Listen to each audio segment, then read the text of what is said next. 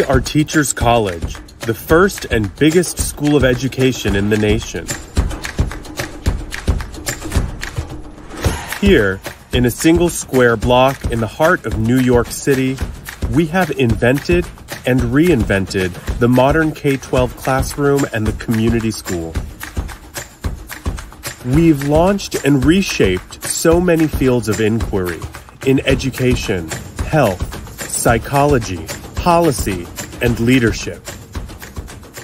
And today, we're shaping the future in racial literacy, education in human sexuality, nutrition policy, community health, global mental health, and emotional and psychological resilience. From generation to generation, our faculty, students, and graduates have tackled society's most pressing challenges and improved the lives of the people and communities we've served. Think of us as an incubator and accelerator for creating a better world. So tune in to Teachers College, the premier address for informed conversations about how to create a healthier, better educated, more equitable, and more just world. No matter where you are, you're right in our neighborhood. Hello and good evening. Welcome to the official book launch of The Way Out How to Overcome Toxic Polarization by Peter Coleman. I am Hakim Williams, and this evening I will serve as your moderator. Today I'm coming from Gettysburg. I teach at Gettysburg College, and as you know, Gettysburg sits in the American psyche in very interesting ways. And so to me, this book is rather salient for these times in the United States of America. Today, I'm going to introduce Peter Coleman, who will present a few remarks on the book. And then Peter Coleman and John Haidt will sit in conversation, and then I will join to moderate a Q&A. Please allow me to read a brief bio regarding Peter Coleman. Peter Coleman is professor of psychology and education at Teachers College and the Earth Institute, both housed at Columbia University. He directs the Morton Deutsch International Center for Cooperation and Conflict Resolution, is founding director of the Institute for Psychological Science and Practice, and is executive director of Columbia University's Advanced Consortium on Cooperation, Conflict, and Complexity. Dr. Coleman is a renowned expert on conflict resolution and sustainable peace. His current research focuses on conflict intelligence and systemic wisdom as meta competencies for navigating conflict constructively across all levels, from families to companies to communities to nations. He has authored over 100 articles and written or edited a dozen books, including three editions of the award winning Handbook of Conflict Resolution, Theory and Practice, the award winning Making Conflict Work, Harnessing the Power of Disagreement, as well as the 5% finding solutions to seemingly impossible conflicts, attracted to conflict, dynamic foundations of destructive social relations, and psychological components of sustainable peace. Dr. Coleman is also a certified mediator and consultant to various groups and organizations, and most recently served in an informal advisory capacity on fighting toxic polarization in America to the Biden-Harris transition team. Please join me in welcoming author Peter Coleman. Good evening. Hello, everybody. Thank you for joining us. I, uh, I am. We were almost able to do this in person, but um, good to be here and good to have you all here uh, with us. Thank you, uh, Hakim, for that introduction. I want to thank John Haidt for being with us this evening and for uh, being in conversation with me. And a special uh, shout out to Danielle Kuhn, who's the associate director of the center, and Becca Bass, um, Soli Esteves, and Trish McNick, uh, McNichols, um, and the staff of the ICCCR, Teachers College, and Columbia University Press. Everybody has worked together to make this happen tonight. Uh, no small feat um, to do this virtually. The book is about escaping uh, a trap of toxic polarization. I started to think about this and work on this uh, after Donald Trump was elected president, uh, and the political rhetoric got more and more ugly and incendiary. Um, and at that time, I started to have conversations with various uh, organizations around the country that were working tirelessly to try to bring the temperature down around political division, divisiveness in the country. But some of them seem to be somewhat I would say, misinformed about the science on how to do that. And in some cases, they were having a, a perhaps negative impact at times. So, one example I'll give of a very well intentioned association is a group, uh, an initiative, initiative called My Country Talks. This started in Germany. Uh, now there are 30 different nations that are doing this initiative. And essentially, what they do is they have a website. They invite you to go to their website, answer some questions on divisive issues and then they match you with someone in your area and encourage you to go off have a have a beer a cup of coffee and a conversation with that person and many of these go quite well but if you push them some of them actually backfire uh, and don't go as well as we had hoped like this one this is a conversation that was fostered and uh, facilitated by one of the journalists uh, at the founding organization, which is a magazine called Die Zeit in Germany. He came to America after Trump was elected, and he met these two gentlemen. Um, one was a Trump supporter, one was a never Trumper, and um, he grew to like them, know them well, and over time decided to bring them together and uh, facilitate a an encounter, a conversation. And so they did come together, um, and things went pretty well until somebody mentioned uh, Colin Kaepernick and his uh, protests with around the NFL. And from that, there were there was an explosion. There was rage, and there were the as as um, the journalist said, f bombs started to fly, and eventually they men both men got enraged, left, and refused to ever have contact again these kinds of encounters are happening too frequently with these kinds of settings. Um, and it's because some conflicts are just different.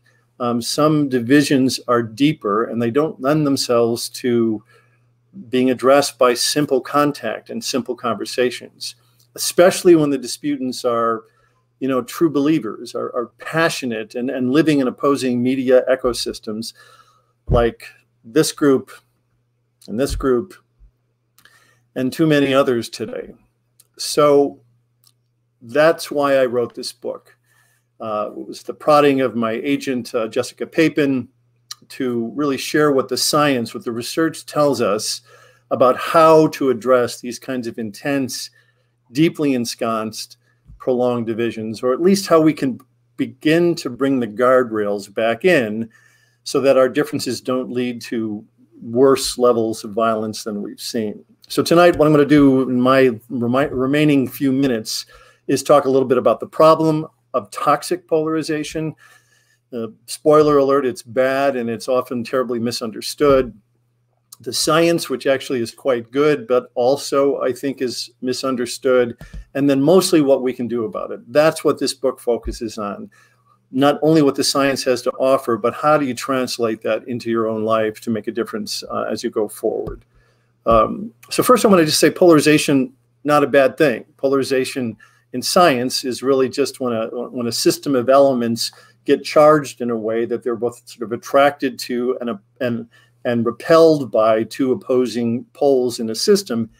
And political polarization, in fact, is necessary, right? In a two-party system like ours, you want to have passionate individuals and groups that have informed debate about moving things forward or keeping them as is, you know, in order to move our uh, society forward in ways that are constructive. But when a society starts to cluster into red and blue echo chambers like this, this is an image off of Twitter, and how those conversations basically just become insular and circular, this can become toxic because we really stop talking to the other, stop learning from them. And this is really the state that we're in. So, toxic polarization is different from typical everyday polarization or difference. Um, and there are certain trends I think that you should be mindful of. One is uh, that there we have spikes in hate and enmity for the other side. This has been something that has been growing for decades. We used to be much more tolerant and accepting of people with political differences. Today, 80 some percent hold the other side in disfavor, think they're unintelligent, selfish, and trying to harm the country. And those kinds of affective scores are central to the tensions that we feel today. But in addition, we're we're thinking in much more simplistic tribal terms. Uh, Pew Research Center tracks something called ideological consistency. They measure people's attitudes on 10 separate issues, uh, you know, uh, immigration, healthcare, uh, homosexual rights, and then they look at the degree to which those start to collapse and, and be correlated within the tribes, within Republicans and Democrats, and how much they start to separate from one another. And that's what we've seen is basically the views on these 10 different issues become highly correlated, which basically means that we're not paying attention. We're not paying close attention to the realities of these immensely complicated policy issues. We're really just joining our team and basically following their lead. Um, so we have affective, ideological, our identities are collapsing. So within each of the tribes, you see ideological identities and religious and racial and political identities all sort of joining. Um, we see increases in perceptual distortion, our view of the other side of how their at how extreme their attitudes are are much more extreme than they actually are. Um, and in these kinds of dynamics, you also see oversized effects of the extreme voices, the loudest voices in the room. On Twitter, for example, 80% of the content is generated by 10% of the users. So a lot of the discourse on polarization that we hear in the media and that we hear in, and that we see on the internet um, comes from a very small group. They're framing and driving the conversation. And one of the most concerning differences is that we are geographically and virtually sorting right into not just rural, urban, uh, um, isolated uh, pockets, but also even within cities. Uh, the New York Times recently published an article where they looked at urban areas. And if you see this increasing partisan segregation happening really physically, people are moving away from people who differ politically from them and moving towards groups, uh, towards people um, like them. This is where I live on the Upper West Side of Manhattan in this bubble of blue. So we're physically separating from the other tribes and joining our own. And commensurate with this, we see rises in hate groups, in hate crimes, and in political violence. And this has been happening again for a while, but particularly spiked during the Trump administration. Uh, white nationalist hate groups grew 55% in that era, and spikes in hate crimes grown considerably, um, as has political violence. Acts of political violence are on the rise in this country. So these different trends all are coming together to promote what I call a sort of form of mass American psychosis, where we're really living in these parallel universes where we look at the same events or see the same events, but understand and experience uh, very different realities in association with them. And this is not a, a, a tenable or sustainable um, way to process information in our society.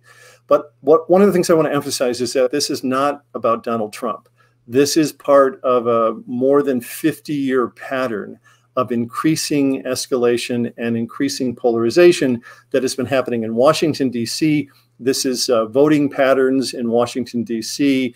And the, the higher the lines, the more, the, the, the less that Republicans and Democrats cross the aisle and support each other. That's been on the increase in the mid, since the mid 1970s. And really today, we're at a, a point of almost total deadlock. But it's also been happening on the streets, it's been happening in communities. You see the national divisions being echoed and fed by divisions in our homes and our communities. So, this is a, a big problem. One of the things I did was to turn to the science to try to understand what the research tells us about the nature of this problem.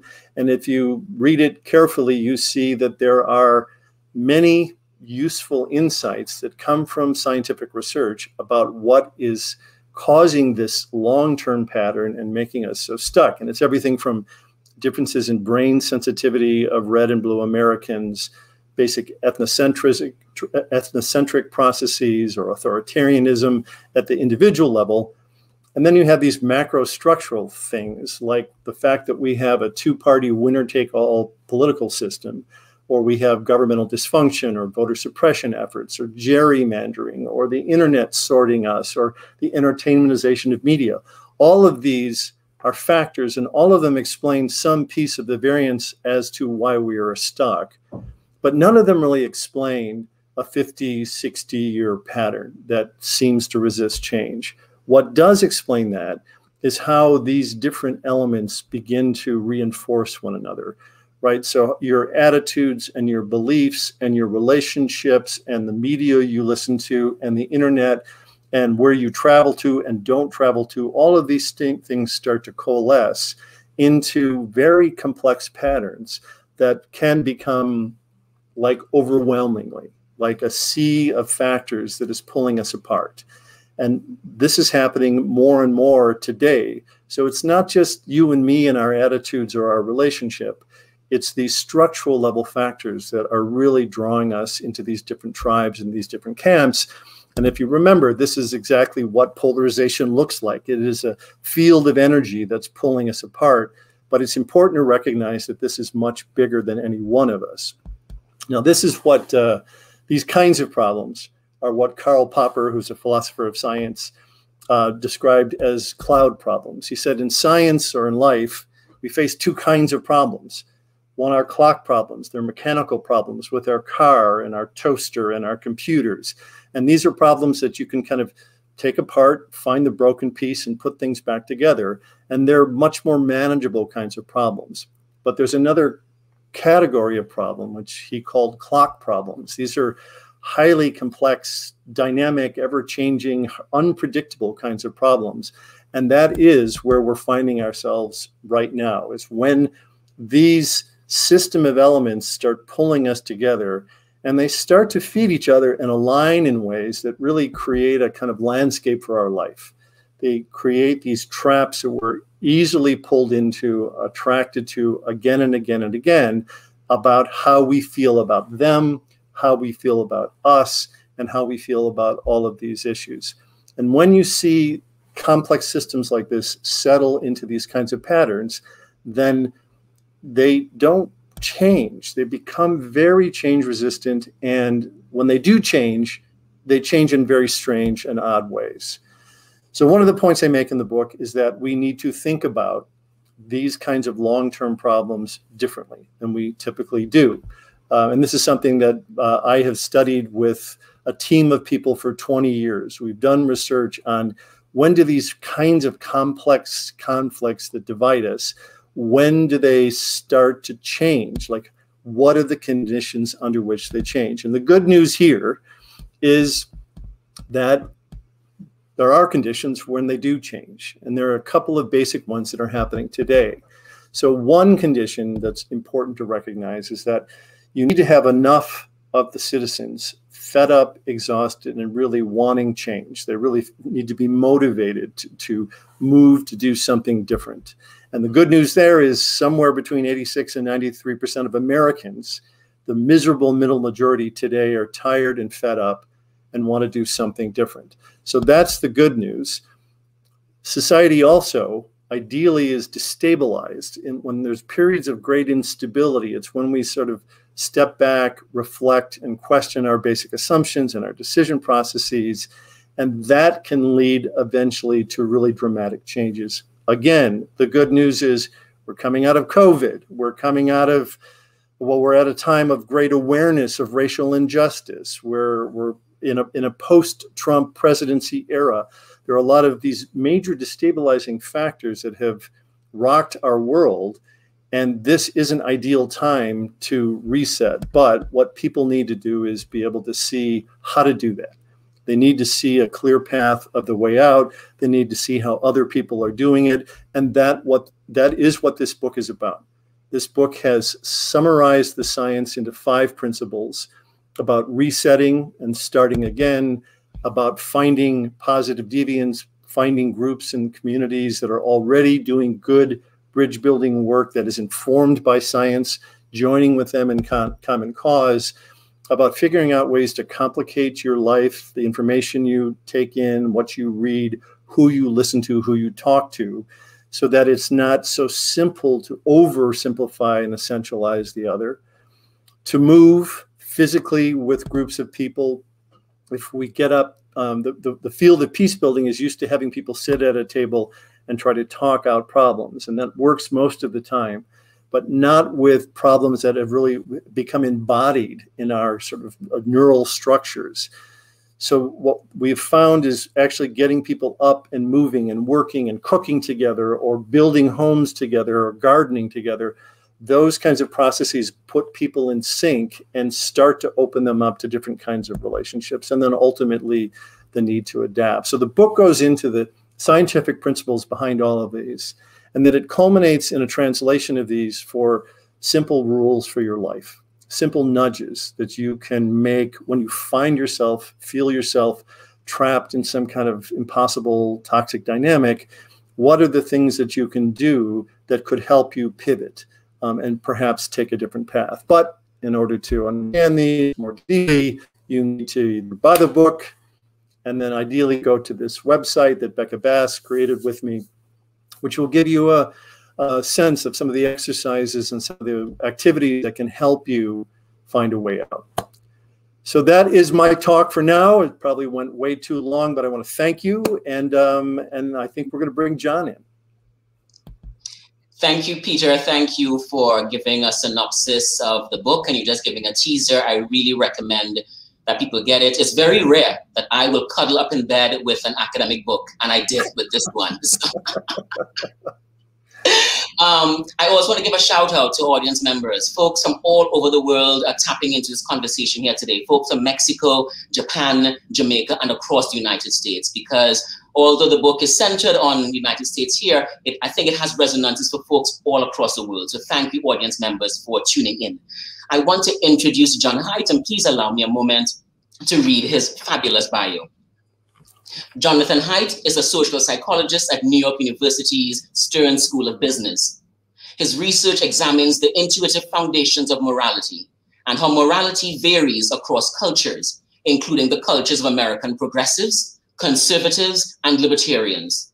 His three books are The Happiness Hypothesis, Finding Modern Truth in Ancient Wisdom, The Righteous Mind, Why Good People Are Divided by Politics and Religion, and the coddling of the American mind, how good intentions and bad ideas are setting up a generation for failure. This was co-authored with Greg Lukianoff.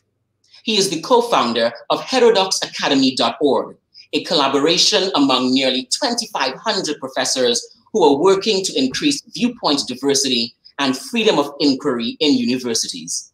He is also the co-founder of Open Mind Platform, an educational technology platform that equips people with the mindset and skill set to communicate constructively across differences. Open Mind is also collaborating with Peter Coleman on research. Please join me in welcoming John Haidt.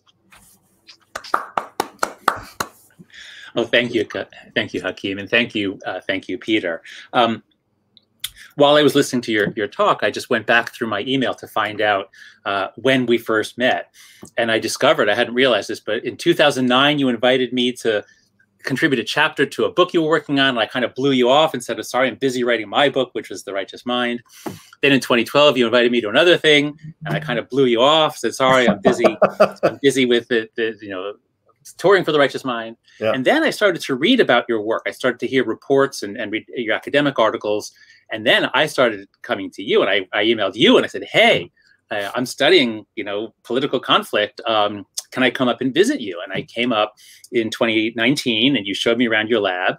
Uh, and I was just completely blown away by the way you had brought conflict into the lab in ways that you could study it, take you know recordings of facial expressions and psychophysiology and you could analyze the words. And you know i'm just telling the story so that the audience uh, understands what the relationship is between us and the degree to which i have just been amazed by the quality of your work and the timeliness of it uh, this is, you know, if, if that was a great thing to study five years ago, boy, is it a good thing to study today. Uh, so thank you for your work, Peter. It's a pleasure to be here with you. And I really love the book. It's a very, very important book.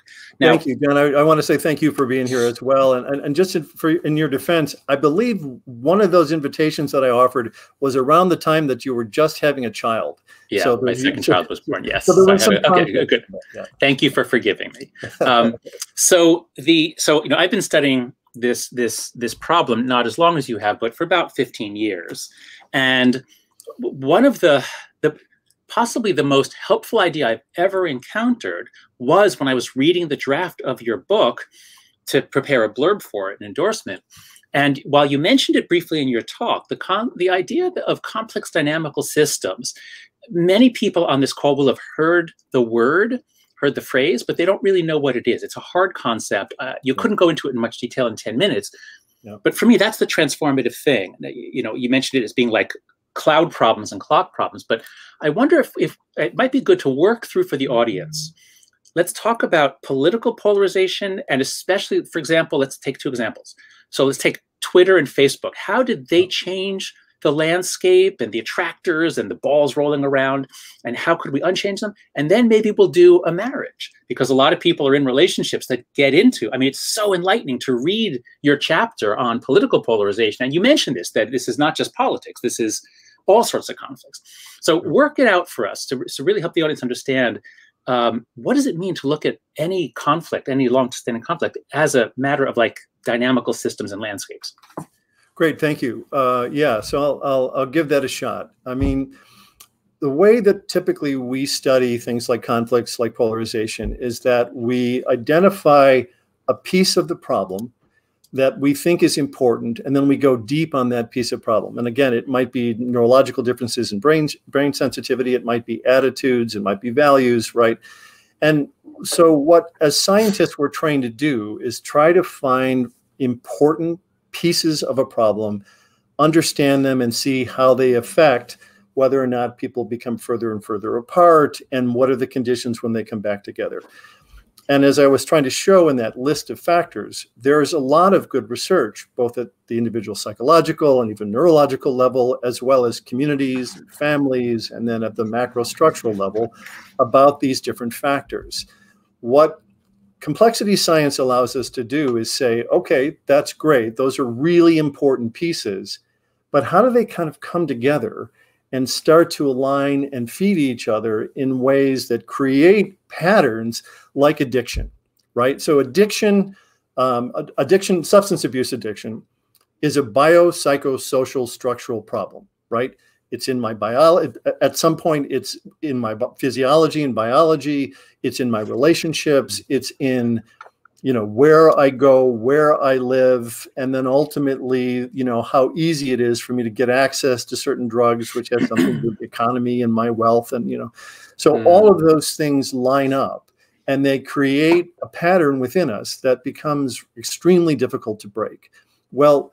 Uh, polarization is somewhat like that. In fact, there's recent research that's that describes how the brain when it taps into outrage, when you feel outrage, righteous, you know, a sense of mm-hmm. righteousness, the righteous mind, uh, it it triggers in the brain a part of the, what they call the pleasure centers in the brain that, that's very similar to what you know narcotics trigger in the brain, mm-hmm. and so there is an addictive quality to that experience again, it's not only my experience of that, my brain firing in certain areas, it's how my relationships reinforce that, the media reinforces that, and all of these other structures. So ultimately, what we try to understand is not how do any one of those pieces explain the pattern, but how do all of those things start to come together and create what are called attractors. Attractors are patterns that we get sucked into, like drug addiction, like falling in love. Falling in love is an attractor pattern, literally, right? Hmm. And and these are patterns that are caused by a variety of different things, but we fall into them again and again. Sometimes they become destructive and toxic, but we can't escape them because in some ways the pattern is bigger than us. And that's what we try to do in describing the process, the science behind understanding how all of these pieces of a puzzle create a pattern in our life that feels inescapable. Okay, but so but the examples you gave us here, drug addiction and falling in love, are things that happen to an individual uh, who, of course, is in networks, but we're still looking at individual. Oh. And what I'm trying to understand is it, it, it, it, seemed to me, I've been studying polarization since about 2004, and it seemed to me as though there was a glitch in the matrix sometime around 2014, 2015. And it's more than a glitch in the matrix. It was as though God changed the gravitational constant of the universe. Nice. And, like, you know, I don't understand Einstein's theory of relativity, but we've all seen those images of like, you know, a planet exerting gra gravitational pull that's like warping a fabric. Yeah. And it seemed as though the fabric of social space-time just fundamentally changed. And yeah. in research I've done elsewhere, it looks to me as though when Twitter put on the retweet button in 2009 and hmm. Facebook mm. copied it and the like button, so social media got really engaging. And also 2009, yeah. 2012, that's when everybody really got onto social media on a daily basis work out for us. Uh, well, in other words, confirm my pet theory, please, Peter. No, work out for us how yeah. how a technological change that comes in more rapidly than almost any other technological change has ever hit yeah. human beings. How could everyone getting on Twitter and Facebook, how does that change the landscape in ways that might have enhanced or that could be used to reduce polarization? So you're you're absolutely right that that social media platforms but also media in general and the sort of entertainmentization and politicization of news media. These are major factors in what is continuing to pull us up. You know, what I do want to stress is that the patterns that we're continuing to follow today were set decades ago but they did be, these are these are accelerants right the, yeah. the internet is an accelerant news media politicization is an accelerant um, and so you we did see and, and donald trump was an accelerant because of his divisive approach to leadership. So these are factors that have increased the intensity of polarization of these parallel universes and leading to i would suggest january 6th mm-hmm. because they're so powerful. Let me say one thing. There's a story i tell quickly in the um, in the book about uh, an experience that i had going to a pop-up meeting in midtown Manhattan about two years ago. It was called by a group on Twitter. I went. There were about a dozen folks there. In fact, Caroline Mehl was there, your colleague, and mm-hmm. I.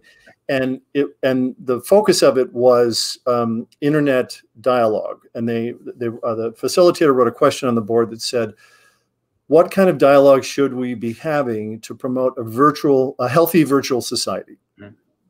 And I said, "Well, what do you mean by dialogue?" And there was kind of silence in the room, and then I said, because dialogue is not, most of us, when we say dialogue, what we mean is debate. We mean you have an idea, I challenge your idea, I listen to your response, I look for flaws in your logic, I weaponize it, I come after you, right? And ultimately, it's a game of winning. It's trying to mm-hmm. win the argument. Um, and we believe that that's a superior process of kind of decision making and problem solving, but it's the opposite of dialogue. Dialogue is a process of opening and discovery right? It is a process where you listen and learn and you discover things about yourself and your own ambivalence or your own ideas the other their story and where how they got to where they are the issues and the complexity of the issues. We learn a lot during dialogue processes but dialogue is not a process that is uh, common or familiar to americans right? We understand debate because we learn it in high school we see it in our politicians we see it in political campaigns we see it on law and order that you know that process is debate and that's what our go-to kind of engagement is. So i made this distinction in this room of internet titans where i said there's a big difference between debate and dialogue. And then there was again another period of silence and then one of the co-founders of facebook who happened to be there said oh well if that is dialogue then there's no major platform that we have that mm. promotes dialogue that everything is about competition, social comparison, challenging, contention, being as provocative as you can. That's the, the coin of the realm, right? That's the currency. And he said, we really don't have major platforms other than Zoom where people can learn and discover together. And that is part of the business model of a lot of mainstream media and a lot of social media, which are these major accelerants of these tribal tendencies that have been, you know, churning and increasing for decades. Okay, no, that, that's great. I mean, that's horrible. That's a, a, a good example of how. So it's like you're saying there were these patterns building for 50 years or more, and then once social, so connecting people by Zoom or telephone is generally going to be a good thing, but connecting them so that everything they say is being rated by an outside audience, like combatants in the Coliseum, and the, yeah. the people are applauding or they're throwing tomatoes. That's yeah. terrible. So whatever patterns were happening when social media comes in, it's like boom, the the the, the negative attractor spaces get deeper and Absolutely. wider, and they suck everything into them. But okay, it's also great. because of, as I said, it's, it's it's you're absolutely right. These are accelerants, but it is because of the business model of mm -hmm. the platforms and the immense success of these platforms. Right? Yeah. There are I don't know what three billion people on Facebook right now, so it is so successful. It's tapping into these you know more primitive competitive contentious games that people get addicted to mm-hmm. that's the model that instagram and and and others have followed twitter and so that is what is being proliferated as opposed to an alternative and alternatives would be spaces where you and I could listen and learn from one another. Yeah, well, that's that, right. And that's why we, we pay for telephone service, but we don't pay for Facebook because we're not the customers, we're the product and therefore they have no incentive or little incentive to make it actually better for us they just want more of us. Yeah. All right so now let's apply this to to interpersonal relationships. Um, my parents were locked into there are certain ways they had of setting each other off and i would talk to them like well dad just like don't react when she does that or mom you know let's just you know and it never worked it didn't change anything yeah. Yeah. why not and what should people do like do you have any advice for i mean everyone on this call has yeah. interpersonal conflicts that are longstanding.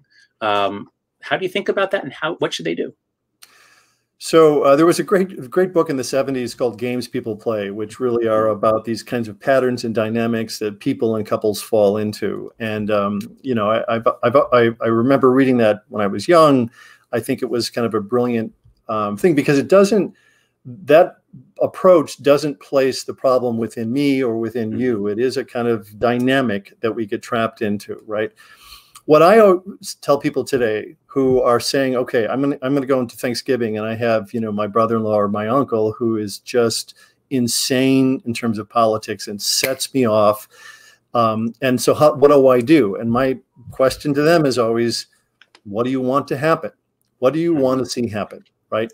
Do you want to go in trigger the same things you always trigger and go up that you know ladder or are you really interested in either a learning a little bit about where they're coming from what their story is b maybe changing the dynamics a little bit so that you too can say well these are the things that are important to me and these are this is how i see the world which again might start to shift things so that you both actually learn from one another. Maybe you don't agree, um, but it doesn't set off the same kind of pattern. So really, there is a, a need for intentionality. If you're going to go into conversations, if you're aware that you're about to go into a conversation, you have to ask yourself, what do I want to do here? And do I really want to set off this pattern that we always get into? Or am I willing to try something else? Um, and one way to do that, again, is to either ask questions. People like to be heard. People like mm-hmm. to have their mm-hmm. stories being heard. You may not like their story, but if you probe and explore, it can start to shift their attitude. There's there was great uh, neuroscience research by a, uh, a man named Emile Bruneau that passed away a couple of years ago. It was a neuroscientist who studied intergroup conflict, and what he found is that when people feel, you know, kind of low status, low power, or neglected, if they start to feel heard by someone on the mm-hmm. other side, if they really genuinely feel heard, then it opens them up to start to shifting their attitudes. So one of the things I had been recommending to the Biden administration is that the first thing that they should do is launch a radical listening tour. where they actually not listen to weaponize, but try to really understand in the different counties in this country what are the major concerns? What are the preferred remedies? And really listen to people because it is a way to open people up to thinking and feeling a little bit differently about you and the dynamic and the issues you're discussing. Uh, that, that's great.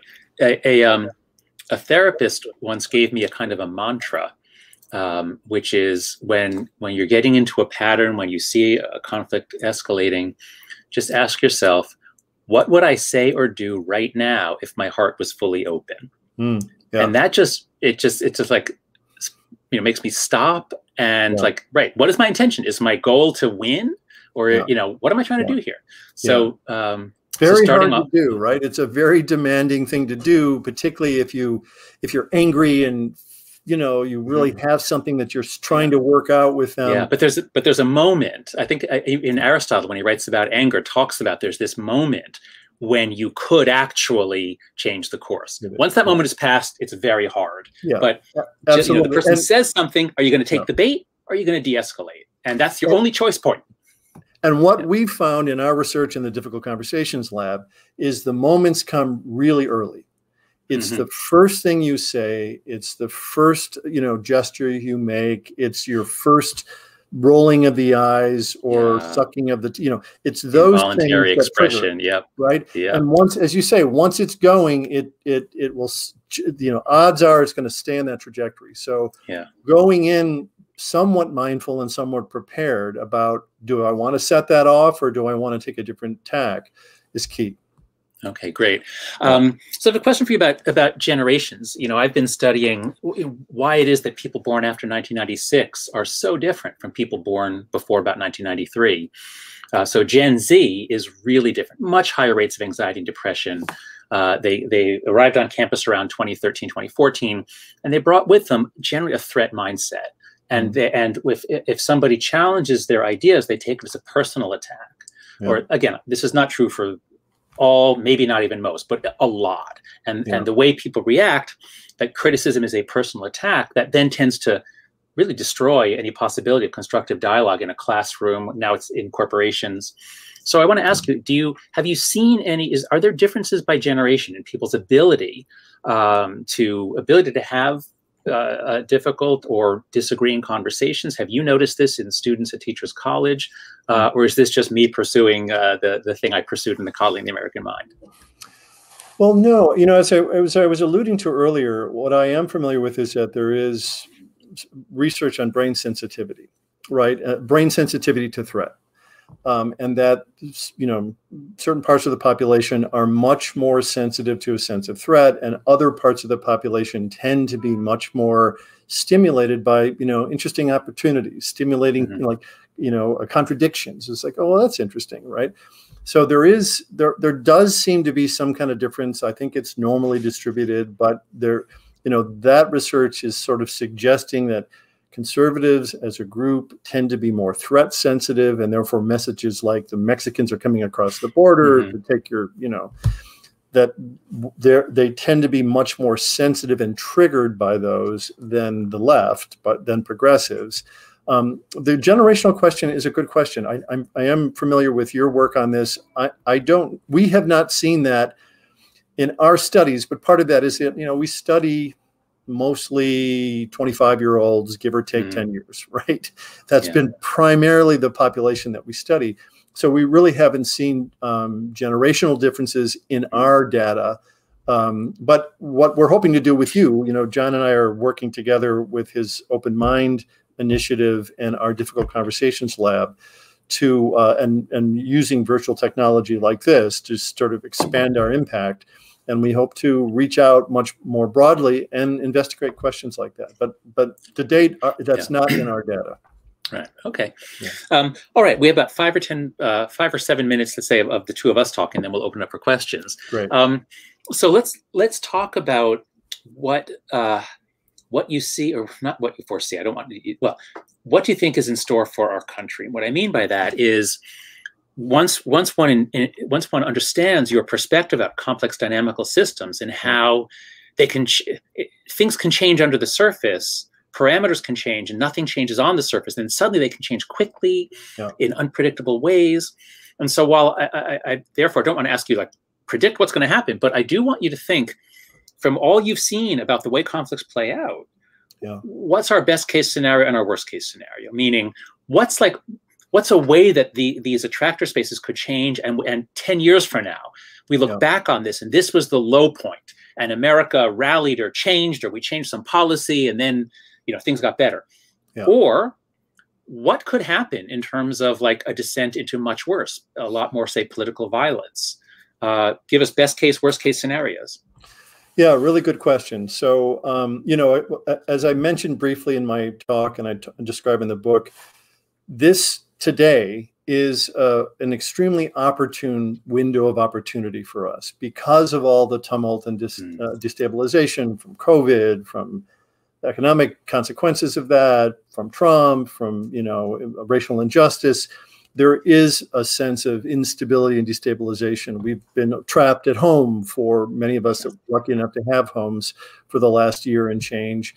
And now we're sort of emerging from this. So this is a window of opportunity what we see when we study long-term protracted device divided societies is that the vast majority of those societies tend to change. Um, somewhere between 75 and 90% of those tend to move out of divisiveness and into more constructive, peaceful eras, um, usually following some kind of major destabilization or shock like this, right? So the, the, the ground is fertile right now for us to pivot and for America to come back together. And it doesn't mean that we're going to embrace white supremacy or we're going to embrace the other side. It means that we'll bring the guardrails back in and we'll be able to disagree and be able to tackle some of the more you know threatening existential challenges that we're facing in terms of climate change and inequality and these other you know extraordinary wolves that are at the door mm-hmm that need to be addressed, we need to be able to come together enough to do that. So the good news about these days is that it does present that time, but it's not something that will happen automatically. It's something that we, particularly this group in the middle, the exhausted middle majority, the 86% mm-hmm. of Americans that disengage when there's, you know, crazy rhetoric happening in politics we need to re-engage. We need to take our role seriously in this democracy. We need to you know find positive deviance in our communities. We need to find groups that are doing bridge building work and doing constructive work mm-hmm. around our democracy and join them in common cause. This is an opportunity if we really care about the future of the country for that to happen. Because the other thing that happens when political shocks like this occur is that things get a lot worse right? Mm-hmm this kind of instability can lead to an era of much, much worse, or it can lead to a pivot. It's up to us. It's up to us mobilizing and committing to doing the things we need to do personally in our families and in our communities to choose which path we want to take. Hmm. Are there so I, I, wish I'd asked for just worst case scenario first, and we could end on a more optimistic note. Yeah. Um, but do you think you know in a developed Western democracy, uh, you know, obviously there have been some countries that were briefly democracies and that decayed into horribly violent uh, uh, uh problems. But uh, is there, you know, are there examples of, of developed Western democracies that did descend into political violence? I mean, actually, well, I guess America had a lot of violence in 19 in the 60s and 70s. Do you think that this is a, a, a really possible outcome for us? Well, yeah. So, you know, one of the groups one of the projects that i run is a project on studying sustainably peaceful societies right? So costa rica the scandinavian mm. countries mauritius botswana. There are there are countries around the world that are by many metrics uh, very peaceful in terms of their intergroup relations their ethnic or religious relations in terms of um, what many the story of many of these places like costa rica is a great example. Costa rica in 1948 came out of a bloody, horrible civil war where thousands of people were killed. And they really took that moment, that opportunity to say, enough. We need to mm. radically rethink what we do. In fact, Costa Rica was one of the only nations in the world that defunded their military, yeah. invested in education, the economy, and uh, and uh, the, their ecology, and grew a different society. They intentionally mandated in every school uh, peace education, that they would teach tolerance mm-hmm. and conflict resolution and those kinds of skills. And they believe they grew a peaceful society over time. But there was this shock and this this coming to terms, right, with how they got there, their responsibility in that, and their need to sort of really take take a different tack. And this is a story that you hear in various places. Botswana is another place. Mauritius is another place. Mauritius is an hmm. interesting place. It's a very multicultural. It's the most peaceful nation in Africa. It's highly multicultural, different populations, different hmm. religions, different ethnic populations. They too came out of some tense times, and really they see that as something that they want to intentionally avoid avoid going forward. So you know, it, it, it these are stories around the world of other places that either came to the brink of violence, like we may be at, or actually moved into violence and then pulled back and said, enough. I'm hoping that we can avoid worse violence and come together enough. Okay, I'll take it. That's that's hopeful enough for me that we can look to countries like Costa Rica, uh, yeah. and that there are countries that have experienced violence and really just been able to been able to change. Wonderful. Okay. Um, so I think now let's uh, bring uh, Hakim back to moderate the questions. Hello, hello. What a wonderful conversation. And you've certainly, I'm sure, primed the audience um, for lots to think about. So folks sent in questions in advance, and we thank you so much for that. So we're going to choose two questions from advance, and then we'll choose one question from, from the live stream that's coming in. The first question we have here is, how do we engage with others who don't want to engage? Are not likely to listen or when the other side is intentionally divisive and unswayed by facts? Well, I'll, I'll, start that, and then I'll invite John in too, because mm-hmm. his his work, particularly with the Open Mind Initiative, is really about preparing people for these kinds of conversations and the kind of you know the building blocks for those. But you know, I will go back to the question of you know why are you engaging? What's the point? What what are you trying to do? You know, is it that you really want to try to challenge them and confront them and show them that they're wrong, which is the trap that most of us are in. And if that is what you want to do, then you're absolutely right. It's going to kind of create that. Part of what is important to reflect on is do you think that they're going to ever change? Do you think that you're going to ever change, right? Do people change? Do these kinds of conflicts change? Or do they just, you know, do we just play this game over and over again? If you if you really believe that they're not going to change then guess what? They're not going to change because you're going to either disengage or every time you engage with them you're going to follow the same kind of path that we talked about earlier. If you believe it's possible and this is research based we, they've done research in israel palestine on these assumptions. These are our assumptions about do people and situations change and if you believe they don't, then you either disengage from conflicts or you fight the fight. If you believe they can, and you see actually see evidence of people on the other side that are opening up and choosing different ways to engage, if you see enough of that, then you become more willing to try to engage in a very different way. So to me, the question is, do you believe that people can change? And what do you hope to have happen in those engagements? But but John, I invite you to weigh in sure. as well. Yeah, I would say there's no question as to whether people can change, or rather, there's no question as to whether people can open up uh, and uh, uh, and have a, a, collaborative conversation with you. All we have to do is is just look at Daryl Davis, and if you don't know who that is, just Google Daryl Davis Ku Klux Klan. Uh, he's a, an African American blues musician who found himself talking to a KKK member uh, one night after his performance, and they actually connected over I can't remember if it was music or Christianity, but the fact that they had something in common, and then Daryl listened to him, and this is his superpower. And this he, he's on the road now. He has books and TED talks. He's brilliant.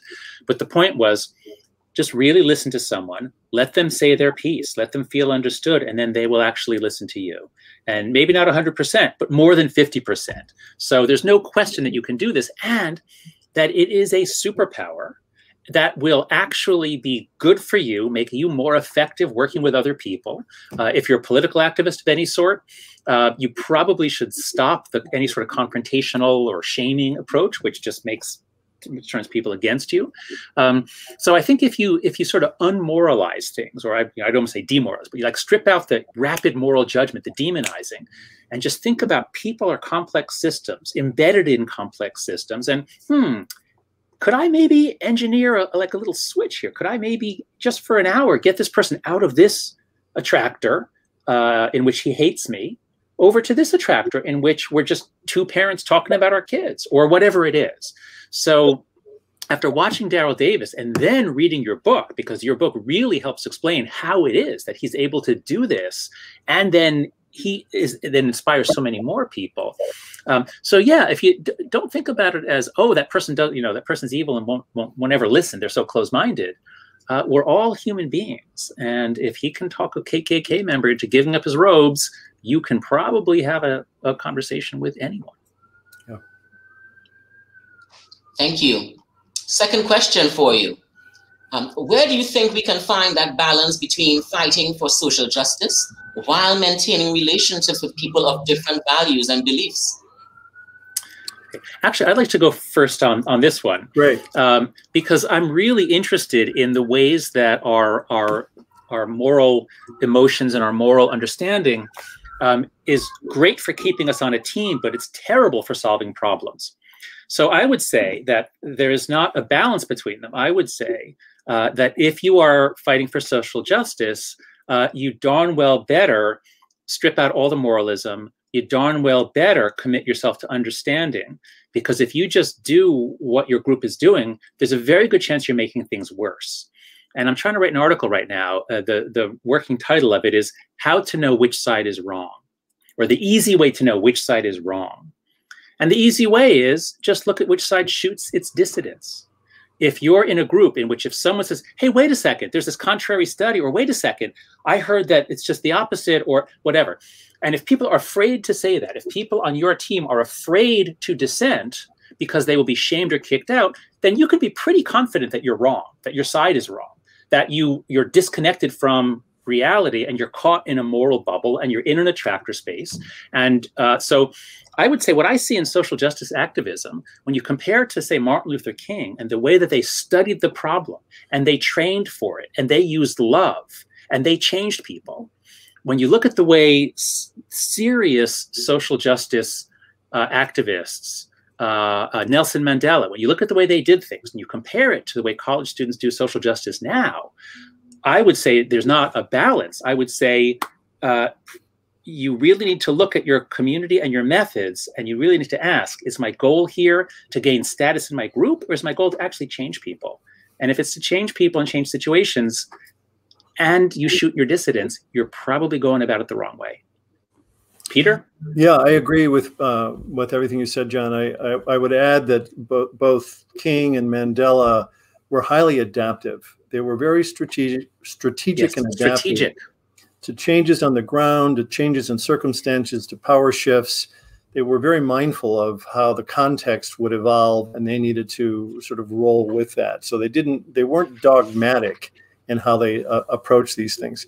So this question is, I think, a very important question because our my field of peace building um, and my other field of social justice um, are oftentimes in tension about this. And there are groups today, the Horizon Project is one, that are really looking at this. Like, how do social justice, how does social justice activism learn from conflict resolution and peace building and vice versa? How can they mutually reinforce one another? Because again, peace building and conflict resolution is oftentimes about de-escalating things and trying to find some common ground and harmony and bring people together. And social activism is is raising tension and drawing attention and mobilizing groups. I have to say that in my book in the first chapter i start with a parable which is a group of women in boston who who were participated in a six year clandestine dialogue about pro-life and pro-choice in boston and one of the things that's fascinating about that is that they were activists. They were all activists on different sides of this cause. Um, and initially, they had vilified each other and were terrified of each other, but agreed to come together because there had been some violence in 1994 in their mm-hmm. community, and they wanted to, and that was the common threat. And in coming together, they had a long, difficult series of conversations that, as I said, took almost six years.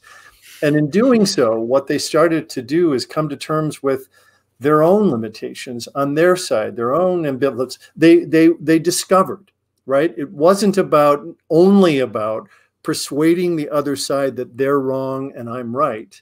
It was a process of discovery where they learned about their own ambivalences, the negative consequences of their activism, you know, what how they contributed to setting up the conditions where this violence was more likely to happen in their community. They they unpacked a lot of what we don't do. And so it it it it's difficult work, but it's critical work for activists and peace builders to understand the unintended consequences of what they do and how both com- communities can learn from each other to do more effective work with least negative consequences. Thank you. I've been keeping my eye here on the live chat, and we have some wonderful questions, and I think it's going to come up on the screen. I will Great. start with one. This is from Jeff, who is currently in Mazatlan, Mexico. Hi, Jeff. Thank you for your question. Um, he asks here, what policy or rules reforms do you think will help decrease toxic polarization? Uh, well, I'll take I'll take I'll give one example of uh, an interesting group that's working on exactly that. So there is this um, not very well known committee in Congress today. It is the Select Committee on the Modernization of Congress, and it's a bipartisan committee that was founded about a year and a half ago. It's chaired by a Democrat and, and a Republican. The Democratic chair is Derek Kilmer of Washington the Republican is William Timmons of South Carolina. And this committee um, was tasked with, and this is something that Congress does every 20 or 25 years. They recognize that they're messed up, they're dysfunctional, they're broken, and they need to be repaired. And so they look at what to do. And this committee was given a, a one year mandate to do that. And they have been very bipartisan. They split the budget. They have six members of Republicans, six Democrats. They meet always together. All of their meetings are together. Um, and the, their process has been so effective. They put out, a, I think, 98 recommendations for how what Congress can do to bring the temperature down, to re- reintroduce civil discourse into their process. Um, that uh, there were several letters written to Nancy Pelosi saying you have to extend the work of this committee. They need to stay on for two more two more years. So this is in Congress, right? This is the belly of the beast of the problem. This is where on January 6th they were attacked. And yet you have this group that is working very constructively.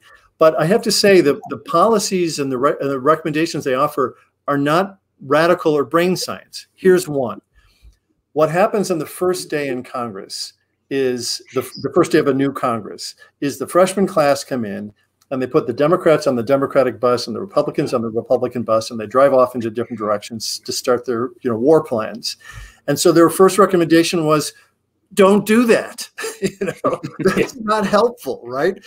Bring them together into some kind of conversation about how do we do what we want to do in Congress with each other? How do we work together, right? So they've been, begun to identify these simple but structural things that contribute to the divisiveness. One of the things that I've been recommending, and John has spoken to, about this as well, is that one of the things that happened in the 1990s when we saw this pivot to politics as war in Washington was the Newt Gingrich decision to change the work week from five days in Congress to three days and then to say to his Republican colleagues, don't move here, don't bring your families here, stay in your states. You can raise more money that way. And I don't want you fraternizing with the enemy anyway. So don't come here and don't bring your families here.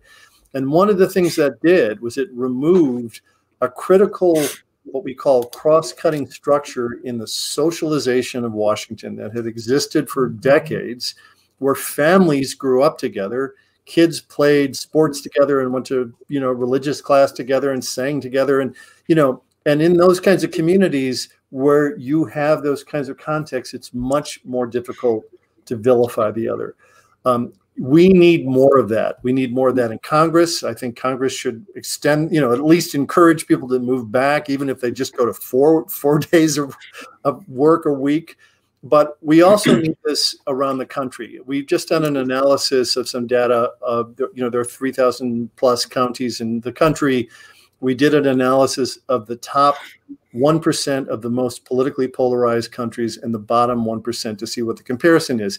And one of the big factors is that in the top 1%, where you have much less hostility across the political divide, is you see more mixed political marriages, something like 25% mm. as opposed to 10%. You see uh, uh, religious organizations that bring people together across political divides. You see sports groups that do that. You have these, what we call cross cuttingness that happens in these communities which where people grow up together with one another they go to the hospital together with them they you know uh, go to um, are in labor unions with them and when you have that kind of everyday contact, it it leads to a better, more functional society. So that that is a basic policy that scales. Having these kinds of structures, which means that we all have to think about who we invite into our family to dinner for conversations, who we socialize with, who are our colleagues, who are you know people that we see in our neighborhood in our communities. We need to rethink this segregation that's being that's happening you know at in at lightning fast speed and put the brakes on it and figure out ways to start to work against that it can happen in congress um, and it should happen for all of us uh, so yeah i've got um, i've got three uh, three fairly simple policies that i think would each have a big effect by doing just what peter's talking about you you want changes to the system that will change the nature of interaction forever not just a one shot thing like, yeah, don't send them off on the buses. That's a one shot thing. That's nice. But here's three that would, I think, have much bigger effect. One, change the schedule in Congress. And this is what Norm Ornstein has suggested. He suggests three weeks in DC, one week off. It's so much more humane. They don't have to keep flying back and forth, back and forth. They, they live in DC, they, they, they socialize on the weekends, and then they go home for like nine days. So that would, that would have a huge impact. Number two, um, end all party primaries. We are the only democracy that has a, you know, a Republican primary and a Democratic primary, which is completely insane because that means since so few people vote, each party is nominating only the people who are extreme. But it's much worse than that because it's not just about who they elect. Once they get into Congress, they're afraid of compromising because they're they don't care about the general election. That doesn't matter. They only care about the primary. And so the idea of, of party primaries, even an open party primary, doesn't solve it. The party should have nothing to do with the primaries. You'd have an open primary, the way California does, or a, or a final five votee, you, you open primary, the top five vote getters, you then go to a general election with ranked choice voting. There are a couple of schemes. But it's like, imagine if we put Coke and Pepsi in charge of of what soft drinks get served in America's schools. Like, no, we would never do that because they're going to recommend either Coke or Pepsi, no milk, no water. So we got to get the parties out of the elections, basically. Let them let them endorse people, let them put people up, but they should not be able to run primaries. Uh, third policy, uh, we must, must, must regulate social media in a in, in a few ways. Uh, I think that things are just going to get worse and worse until we change the social media environment. And the biggest single change that I would recommend um, is we should impose know your customer laws on them the way we do for banks. That is, anyone can open an account with a fake name. That's okay, just to see what's going on. But if you want to post, if you want to be putting stuff out there, you have to be verified. Uh, and it doesn't mean you have to post under your real name. But all kinds of industries now are figuring out ways to verify people. You kick it out to a third party or a nonprofit. They simply verify that you're in a country, that you're a real person, and that you're over 13 or 18 or 21, whatever the age markers are. And that would knock out most of the trolls. That would knock out um, most of the Russian interference. It's just so easy to create fake accounts and then say nasty, racist, sexist stuff and threaten violence. So the public square is a cesspool because of Twitter and Facebook's open policies. That must change if our democracy is to survive, I believe. So that's it. Change the yeah. schedule, end party primaries, regulate social media. So let me just say one, make one point that connects John's point with some of the other earlier points. I, I completely agree that we need to rein in the wild west of social media. Um, but it's not only the government that needs to do that. We also, as consumers, need to mobilize to do that. And that is a way that social activists and that is the way that the exhausted middle majority can kind of rise up and say, look, we won't do this. We won't, you know, we'll jump off this. We'll, we'll boycott one. We'll move to another. We want these kinds of policies that create a more healthy virtual society. Um, we really have to demand that.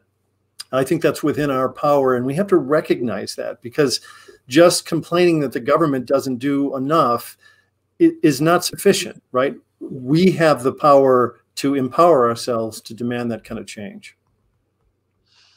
Thank you. Let's choose one last question. It's from Shyla Tuckman. Hi, Shyla. Um, says your obvious question that still needs to be clearly plotted. Who benefits from toxic polarization? Yeah, well, again, the the simple answer is that too many. I mean, uh, you know, as I've said, politicians will divide and conquer, and they can benefit if if their approach is uh, division and divisiveness, they can benefit. Um, you know, party uh, party strength can benefit from this, at least in the short term. Um, social media platforms benefit from it because it's part of the addictive addictive dynamic.